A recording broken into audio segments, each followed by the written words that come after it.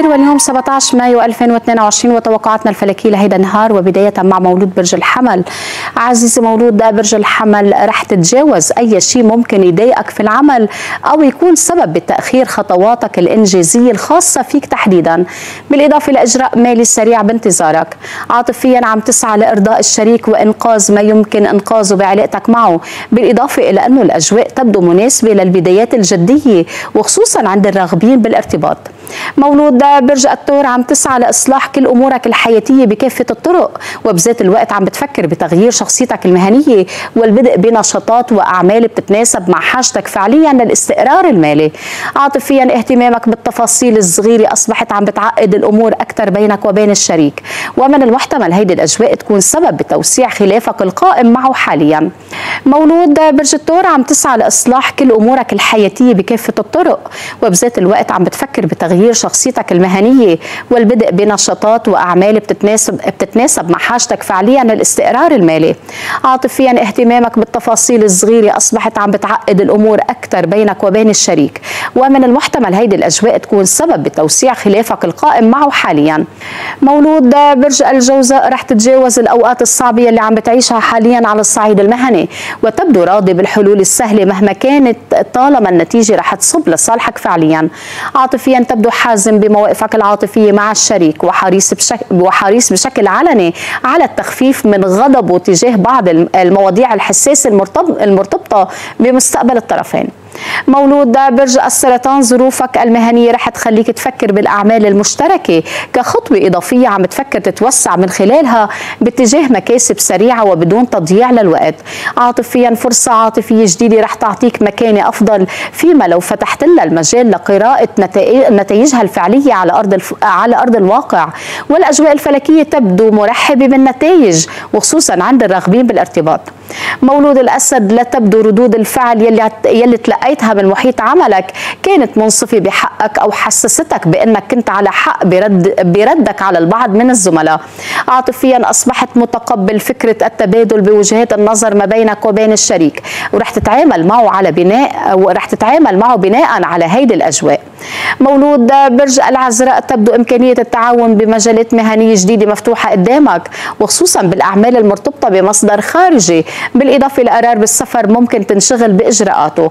عاطفيا موقفك ومشاعرك العاطفية تجاه الشريك أصبحت مبررة فعليا.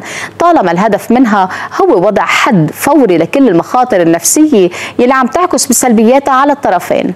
مولود برج الميزان عم تكره هيدا الشعور يلي عم بيحسسك بالضغط المالي وعدم الاستقرار ومن المحتمل هيدي الأجواء تجبرك على التفكير بنشاط عمل سريع بشرط أنه يضمن لك مردود يومي ولو محدود.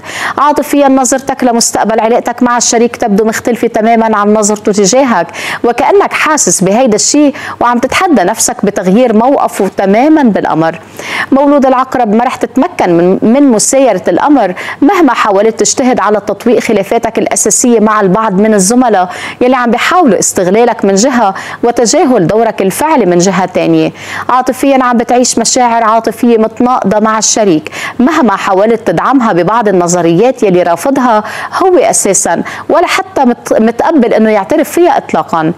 مولود القوس عم بتفكر الدخول بتجارب جديدة أو بنشاطات مهنية سريعة وتبدو هيدي المرة حاسبها صح. ونصيحتنا لك تكون كتوم جدا على أسرارك التفصيلية المرتبطة بإنجازاتك القادمة.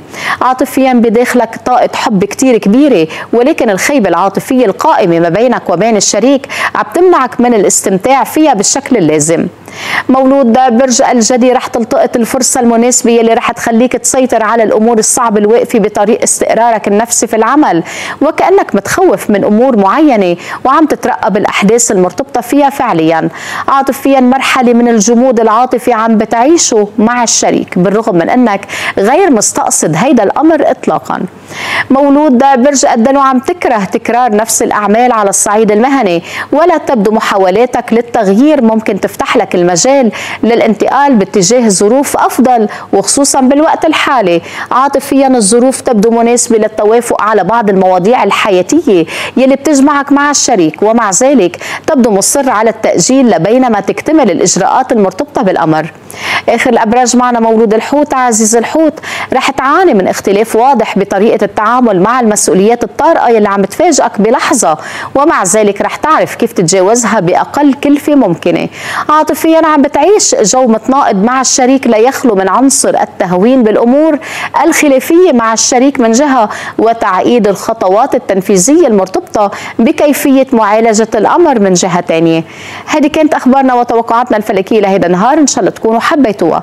بتمنى لكم بقية النهار يكون كتير حلو. تضلكم بألف خير وباي باي.